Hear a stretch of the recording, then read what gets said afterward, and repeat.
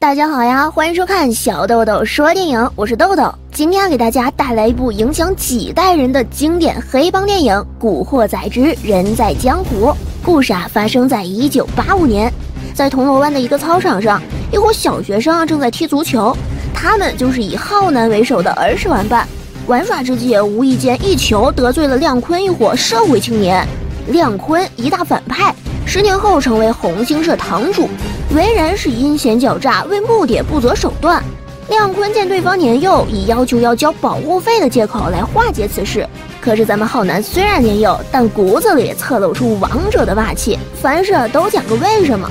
这个场地是红星逼哥造的，为什么要向你交保护费嘞？话音刚落，亮坤手中的可乐瓶已经砸向了浩南的头部，并且啊让小弟们狠狠地揍了浩南一会儿。最后呢，还是逼哥出面化解了这场误会。逼哥临走前说道：“如果想踢球，以后就报我逼哥的名字。”浩南感觉逼哥为人豪爽，非常仗义，说道：“逼哥，我想跟你走。”就这样，一行五人走上了一条不归之路。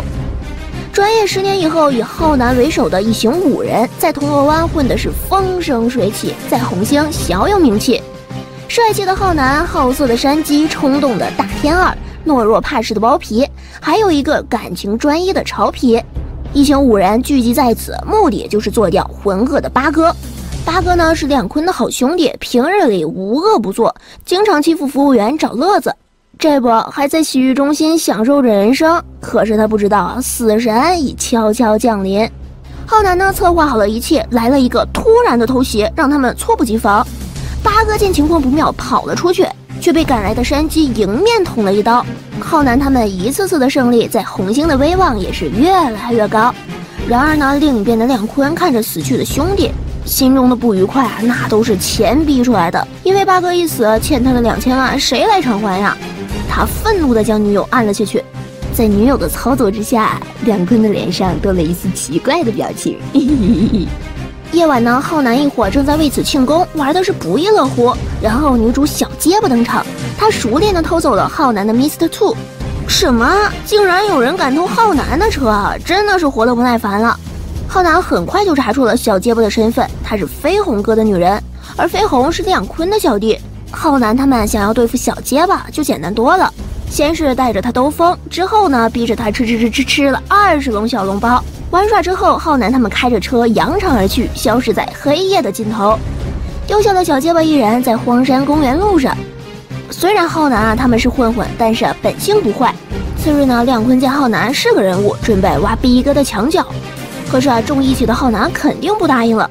在逼哥的眼里，没有钱解决不了的事情。他拿出两百万丢在了浩南面前。可是啊，在浩南眼里，没有什么比情义更重。两人没谈拢，不欢而散。在浩南离开的时候呢，遇到了飞鸿带着小结巴来拍三级片儿。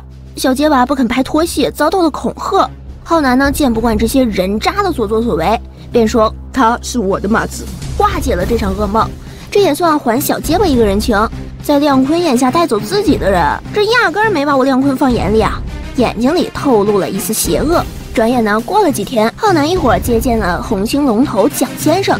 这次任务是解决澳门纷争。其实啊，他们并不知道这次行动是亮坤一手策划的，包括蒋先生也不知情。计划成功，亮坤将登上红星龙头的宝座。接到任务的浩南一伙立马就前往澳门。在路途上，只有浩南心思沉重。他知道出来混的都是一脚在地狱，另一脚在监狱。希望此次的行动能够安然归来。一到澳门呢，山鸡就拉着马子去了赌场。好色依旧的他，很快就撩到了新妹子。让他更兴奋的是，同事还住着一对丽人的双胞胎。哇，这是要一鸡斗三凤吗？另一边呢，山鸡的女友一出赌场就被一伙人抓走了。次日清晨，浩南几个人焦急地等待着山鸡，可是山鸡儿迟迟未归。时间急迫，不能再等，于是呢，浩南四人先前往目的地。走到一座大桥，浩南一伙儿被黑帮埋伏，几十人拿着棍棒向他们冲了过来。大战后，潮皮被杀，浩南被抓，包皮和大天二逃了出来。浩南被带到了一个偏僻的住所。亮坤跟小弟说道：“其实杀一个人很简单，我要让他身败名裂，不能再红星立足。”于是呢，他给浩南和山鸡女友灌了大量的春药，并且呢，拍下了激情的画面。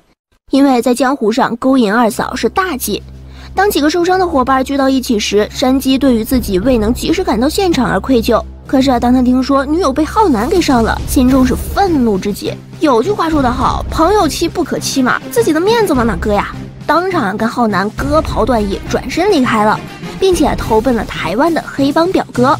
临走前呢，浩南托大天儿将一块金表送给了山鸡，这代表无论走到哪里，我们永远是兄弟。时隔多日，亮坤终于等到了十二帮主龙头大会时间。大会上，亮坤表露出蒋先生的种种不满，并且啊对龙头宝座蠢蠢欲动。他认为有能力者居之，要求通过投票来决定新的龙头。其实啊，亮坤暗地里已经用五百万收买了红星高层的老东西们，投票让他很顺利的登上了宝座。接着呢，拿出浩南和山鸡女友嘿咻嘿咻的录像丢在了大家面前。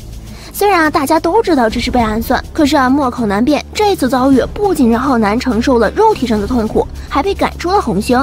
然而亮坤并不以此作罢，他利用逼哥女儿的书包，将其带到了荒废之地，将逼哥一家四口残忍杀害。接着又烧了浩南的酒吧。不过有句老话说得好，斩草不除根，春风吹又生。这是要逼着浩南爆发呀！浩南虽然已经被赶出红星，但逼哥的仇一定要报。可是这仅凭四人哪里斗得过亮坤一伙呢？于是呢，找到了昔日好友，可恶势力当头，加上浩南的堕落，谁能愿意出一份力？就在浩南灰心的那一刻，山鸡开着豪车，带着几十人出现在浩南面前。看这阵容，山鸡在台湾混得不错呀。随手呢，把当初的金表扔了过去，表在情义在，验证了那句老话：患难见真情。有山鸡的加入，他们立马展开了疯狂的报复。他们炸我们酒吧，我们就炸他们歌厅；他们用五百万收买红星高层，我们就贿赂五千万，并且通过情报举报了亮坤的公司藏有毒品。此时的亮坤已经是半个死人了，还快活的在为母亲寿宴庆祝着。庆功宴上，包皮故意男扮女装打伤了亮坤母亲，成功勾引亮坤的追击。最后的大战在一个漆黑的巷子里，亮坤发现自己已经被重重包围，突然一箱汽油从上空泼下。亮坤被淋湿了全身，看着远处的火光，缓缓走过来的浩南们心中无比的恐惧，说道：“能不能在昔日情分上饶他一命？”嗯，昔日的情分就是一瓶可口吗？浩南狠狠地砸向了亮坤的头颅。趁乱之际啊，亮坤一把抢过了包皮的枪，劫持了包皮，正想利用人质逃离时，被闻讯赶来的警察一枪击毙。亮坤落马，浩南回归了红星。蒋先生也重新回归宝座，主持红星大局。浩南将成为下一代的枭雄。本故事完，下一节将为大家分享山鸡在台湾经历了怎样的波折而飞黄腾达。下一集《古惑仔之猛龙过江》，欢迎收看。好啦，我是爱豆不知道的小豆豆，喜欢我就订阅吧，我们下期见。